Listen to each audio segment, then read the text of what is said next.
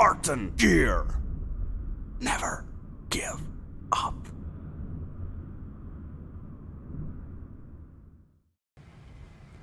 Moikka, mä oon Susanna Musteri Spartankearilta ja mulla olisi tänään sulle haastava keskivartalotreeni. Okei, eli liike 1 olisi rutistus V-asennosta.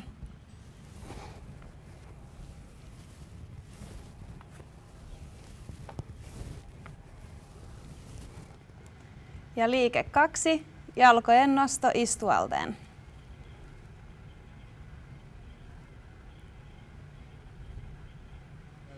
Ja liike kolme on keinuva pito.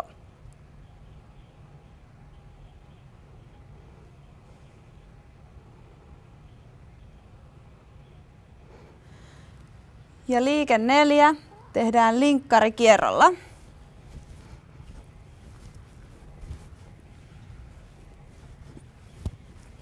Ja jos haluat hiukan helpotettua, niin voit laittaa jalat koukkuun.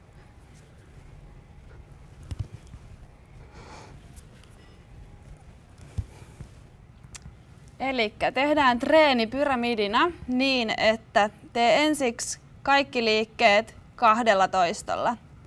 Sitten heti perään neljällä toistolla, sen jälkeen kuudella, kahdeksalla ja sitten vielä viimeiseksi kympillä. Jos siinä kohtaa tuntuu, että treeni on ollut tarpeeksi tehokas, voit lopettaa siihen, mutta jos vielä löytyy lisää poveria, niin lähde pyramidi sitten takaisinpäin alas. Eli kymmenestä siirryt seuraavaksi 18, kuuteen, neljään ja sitten lopuksi kahteen. Teet tämä harjoitus aikaa vastaan, eli pyrit tekemään niin nopeasti kuin vain suinkin pystyt. Hyvää treeniä!